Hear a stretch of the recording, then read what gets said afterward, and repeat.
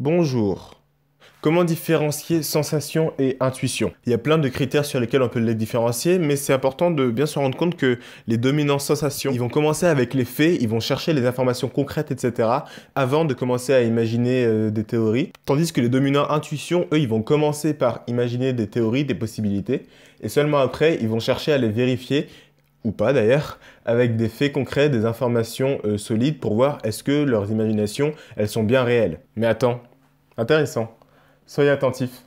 Commencer par les faits, puis généraliser, c'est un raisonnement inductif. A l'inverse, passer du général au particulier, c'est la définition d'une déduction. Et ça correspond à l'intuition et la sensation? Tiens donc. J'ai jamais compris pourquoi, mais il a été communément admis que les raisonnements inductifs étaient liés à la pensée extravertie et les raisonnements inductifs à la pensée introvertie, ou l'inverse, je sais plus, peu importe. Je dis souvent que le MBTI classique n'est pas euh, à jeter, qu'il y a beaucoup de choses vraies, mais que c'est juste trop anecdotique, etc. J'essaie d'être gentil, MDR. Mais, euh, mais ça, par exemple, c'est totalement faux. C'est totalement n'importe quoi, en fait, et je sais pas d'où ça sort, en fait. Mais ça n'a pas de sens. Je, pense que c'est parce que le MBTI classique, ils pensent que si on utilise TE, on a forcément SI ou NI comme fonction d'observation. En fait, non, bah non, ça change rien, parce que NI est aussi inductif. Non, bah je sais pas. Ah non Ah oui, c'est ça. Je pense que c'est parce que, premièrement, ouais, je pense que c'est ça. Je pense que c'est parce que, premièrement, dans l'MBTI classique, il n'y a pas de double extraverti, donc si tu utilises euh, TE, tu as forcément SI ou NI, et aussi que ceux qui utilisent TE et NI, ce sont les I et ENTJ, qui sont des types relativement rares. Du coup, il y a une surreprésentation des TE, SI, ou des SITE qui sont les I et ESTJ qui eux sont beaucoup plus nombreux. Et les I et ESTJ ont effectivement plus tendance à penser de manière déductive, donc du coup je pense que c'est de là que vient l'amalgame. Je pense que c'est ça. Mais bon bref, ça change rien, au final ça n'a quand même pas de sens. Ça explique, mais ça ne justifie pas. Bon bref, je sais pas, mais bon, en, tout cas je pense que c'est ça, ça me paraît plausible comme, euh, comme théorie. Euh, il, faudrait vérifier, mais bon, enfin bon, en même temps si vous vérifiez, vous trouverez pas grand chose parce que dans le MBTI classique, en fait, ils sont très forts pour dire des choses qui sont vraies ou pas, mais quand tu essayes de comprendre pourquoi, là, il n'y a plus rien. La pensée extravertie est déductive. Ah bon? Et pourquoi? Euh... La pensée extravertie est déductive. Enfin bref, tout ça pour dire que c'est faux, quoi. Euh, oh Mon Dieu, oh mon Dieu, parfait. Génial. Qu'est-ce que... Oh putain, parfait, exemple parfait. Qu'est-ce que je viens de faire là tout de suite? On avait une question. Pourquoi est-ce qu'on dit que TE et TI sont inductifs et déductifs ou l'inverse, peu importe? Pourquoi est-ce qu'on dit ça? Qu'est-ce que j'ai fait premièrement? Est-ce que j'ai cherché sur internet les recherches sur le sujet? Est-ce que j'ai cherché à voir qu'est-ce que les gens en disent? Est-ce que premièrement je me suis dit il faut que je cherche et que je trouve des informations concrètes, sensations? Ou est-ce que premièrement, enfin est-ce que le premier réflexe que j'ai eu c'est d'imaginer des théories euh, possibles, d'imaginer plusieurs possibilités, intuition, intuition extravertie même. Mais bon, évidemment, une personne introvertie, elle peut imaginer plusieurs possibilités, mais pour simplifier.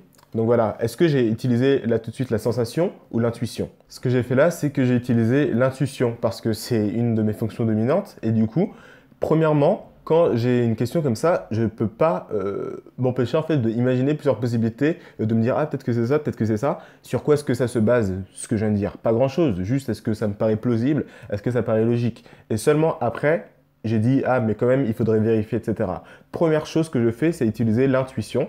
J'imagine des possibilités, j'imagine des théories, et seulement après, je vais me baser sur la sensation, sur les informations concrètes pour voir est-ce que ce que je pense marche réellement dans la vraie vie. Les personnes utilisant une fonction de sensation comme fonction dominante, elles feront exactement l'inverse. Elles diront, je sais pas, première chose qu'elles feront, elles voudront avoir des informations concrètes. Elles chercheront sur internet, elles essayeront de voir qu'est-ce que les gens en disent, etc. pour avoir des informations euh, concrètes et seulement quand elles en auront assez, elles commenceront à pouvoir imaginer, ah du coup, au vu de toutes les données que j'ai, je peux essayer de prédire, je peux essayer de voir à peu près euh, qu'est-ce qui se trame derrière, le pourquoi du comment.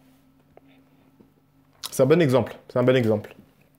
C'est cool parce que euh, dans l'espace membre, par exemple, on type des gens, euh, enfin des vrais gens en live, tu vois. Donc on a vraiment dans la vraie vie comment est-ce que se manifestent les fonctions. Donc c'est vraiment génial, quoi. Enfin c'est optimal comme condition. Sur la chaîne, les conditions sont évidemment totalement différentes. Donc il y a moins d'exemples concrets comme ça. Donc c'est bien que je me sois euh, surpris moi-même en train d'utiliser euh, une fonction pour vous montrer comment est-ce que ça peut se manifester dans la vraie vie.